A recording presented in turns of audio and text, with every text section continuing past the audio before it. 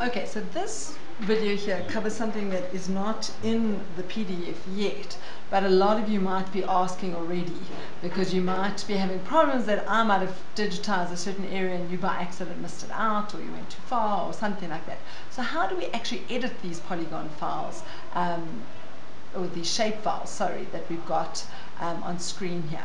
And so we need to do this before this next section because I didn't digitize it correctly to work well with the PDF. And so I'm going to select this quartzite over here. Oh, it worked this time. And so quickly just to show you something that um, I haven't shown you yet, you can see up top here in the menu, this hand icon allows you to drag your picture left and right. It's called panning. And if you're in the hand icon, you can't really select features, so you have to go up here to go to this select elements or this black arrow, and as soon as I've got that, I can click on my shapefile, or let's try click on this one here. Yeah, I don't know why I struggle sometimes, maybe I'm not doing something right. But if you can't select this shapefile, like I said earlier, just go to all lithologies, open attribute, and it was the second polygon we created. So if you highlight it here, oh no, it's moved it. Interesting. I wonder why.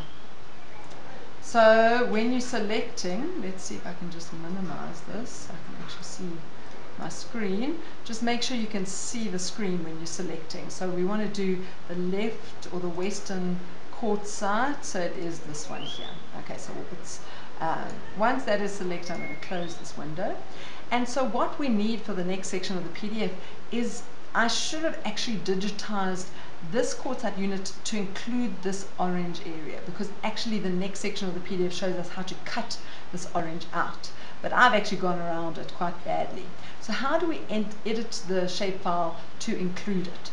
And so what we're going to do is we go to the create features up here and we click on QTE and once we've done that you can see that um, there's more options available to myself up here and please make sure you're in the start editing mode. We didn't stop it at the end of the last video, but maybe you did it yourself. So make sure you click on start editing and then click under create features on the feature we're editing. And then we're going to go over here to edit vertices. And as soon as you click on it, you can see all these green lines and dots show you where the vertices are in your shapefile. And all you need to do is, oh, sorry, is click on them and then you can edit them. Okay, sorry, now I've got multiple shape files available to me. Okay, so if that happens to you, all you can do here is you go to Open Attributes, and we said last time it was the number one um, polygon, and so I've highlighted again. Let's try one more time. Click on Edit Vertices, and I should be able, you can see as soon as I go over the vertices, it changes to this square with triangles. I can now drag it to where I want it to be. Okay, so you can do that with any place where you've created um, the wrong, or create, gone in the wrong area. And so I'm just going to include all of this orange region in my shapefile. Okay, I'm sure you could delete a vertex if you want to. Let's see if we right click on it. You can see delete vertex. So I'm going to do that. I'm going to click finish sketch. I'm going to go here. I'm going to go save edits.